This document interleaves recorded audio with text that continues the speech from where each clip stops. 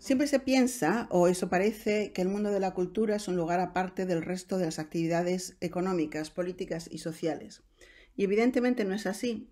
Y las graves deficiencias del sistema cultural lo son porque existen también en todos los otros campos. Cuando en el mundo anterior al COVID-19 las frustraciones del mundo cultural se centraban en el número de visitantes, en el estatus del artista, en los incentivos al coleccionismo privado y público, o en la posición de los artistas españoles en el mapa internacional, todos estos problemas estaban y están relacionados con problemas mucho más amplios.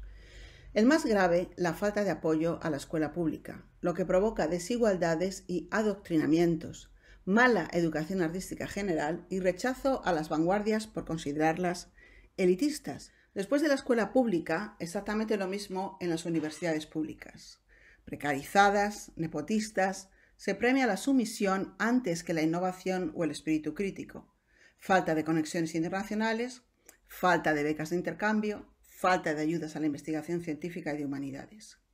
Y después, en el campo de lo artístico, la pervivencia de una visión trasnochada del artista como emprendedor competitivo con redes clientelares y no como trabajador solidario al servicio de la comunidad. Todo esto no se va a ir ni siquiera después del COVID, pero sí ha obligado a plantearse importantes cuestiones sobre la noción de producción, la obsesión con el número de visitantes o las políticas de mediación de los museos.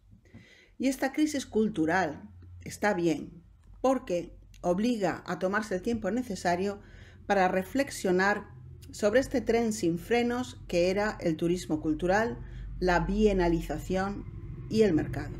Lo que desaparecerá Espero que todo lo que acabo de decir, aunque no me hago muchas ilusiones, lo que no debe desaparecer, la solidaridad, la necesidad de estar juntos, la generosidad y el imperativo de proteger a los más débiles.